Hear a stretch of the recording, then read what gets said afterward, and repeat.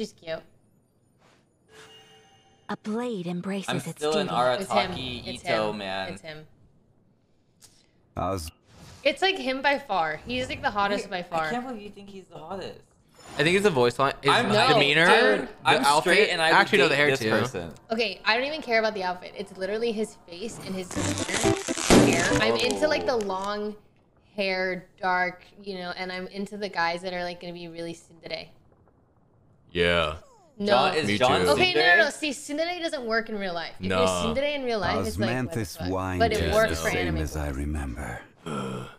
John's But anime where are boy. those who share John looks like an anime boy, but he has a golden retriever energy, which I Who's the really, golden I really won here. Wait, chat. Who's the most like John personality wise of all the characters? Does life smoke a cigarette This after guy has a quote that sounded just like John.